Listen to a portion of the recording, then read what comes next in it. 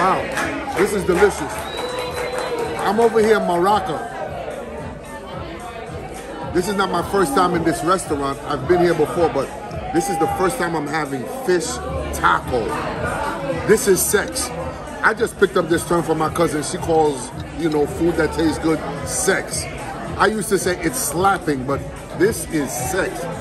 Fish taco with a little bit of picante. I don't know what it is. Fucking shit is delicious, y'all. Oh my God. If you ever at Maraca, try this. Ooh, sex.